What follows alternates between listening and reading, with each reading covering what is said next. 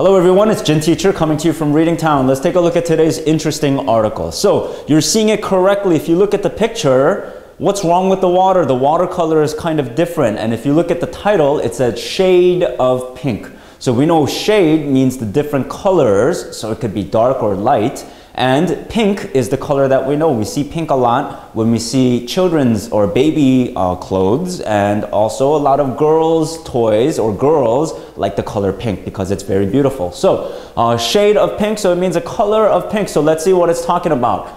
A salt lake at Westgate Park in Melbourne, Australia has again turned pink. So we know that there's a lake Lake is in Korean hosu, and lake, this one is different. Usually lake is fresh water, but there is a salt lake, and that means it tastes very salty. There's a lot of salt in that water. And this is in Australia, in a large city called Melbourne, and the park's name is Westgate Park. So it's starting to turn pink.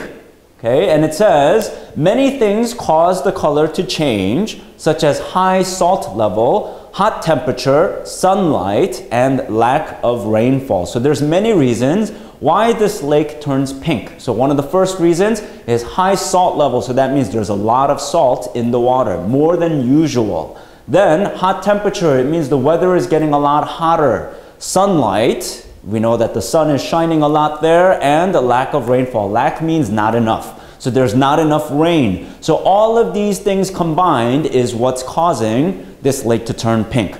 People are warned not to drink or touch the pink water. So warned means they tell them, please do not do it because it might be dangerous. Don't drink it. Don't even touch the pink water. The lake is expected to return to its original color in the winter months when the weather is cooler and a lot of rain falls. So they're saying that this is uh, not going to last, but until it gets colder, it's going to stay pink. But in the winter months, when the weather gets a little bit colder and there's more rain, the, the water will no longer be pink. But in the meantime, if you see it, do not touch it, do not drink it because it's not clean, it's not, it's not good for your health. So you see a child standing in front of the lake, but they warn people, do not touch it, do not drink it. So that's very interesting. I'm sure a lot of people at first, they were very scared. They were wondering, why is this water pink? And many people probably touched it or even some tried to drink it. And now that we know that it's not good for you, then a lot of people are warned. They're told, don't do that. So this is very interesting and this is happening in Australia. So if you go to Melbourne, Australia, you might be able to see this pink lake. Very interesting. So let's fill in the blanks uh, from today's article. It says high blank level, hot temperature, and sunlight caused the lake to turn pink. So what level? Was it the water level? Was it the sand level? We didn't hear those things. We said the high, that's right, salt level. Too much salt in the water. Next question says the lake is expected to return to its what color in the winter months? So when you go back to what you were supposed to be or what you were at first. That's the word that we're looking for, and that word is original. So, original color is the color that it once was or the color that it first was. So, it's going to go back to that color, which is not pink.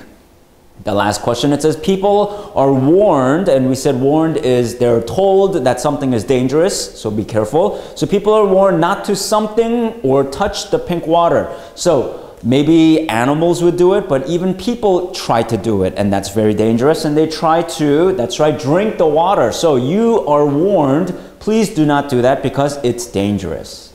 Okay? And the last part, let's choose the correct word. A salt lake at Westgate Park in Melbourne, Canada, Australia, or the United States has again turned pink. So where was it located? So we said Melbourne is the city. Where is the country? Melbourne, Australia. Okay, the second question.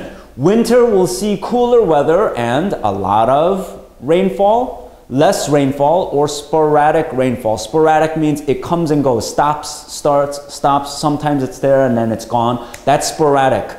Is there less rainfall in the winter or is there a lot of rainfall? So in the winter, we know that it gets cooler. In colder places, it turns to snow. But in places that do not get too cold, it rains even more. So we know that the correct answer is a lot of rainfall. So it needs more water and then the lake will no longer be pink. The last question, it says, the lake turns pink because of high salt level, low salt level, or medium salt level. So we said uh, one of our main reasons for why the, why the lake turns pink is too much salt. So if you have too much salt, how much level do you have? You have high salt level. So today's article, we learned about different shades of pink. So the lake in Melbourne, Australia, it turns pink once in a while because there's too much salt, it's too hot, right? Not enough rain. So for many reasons, you can see this very interesting, strange colored lake.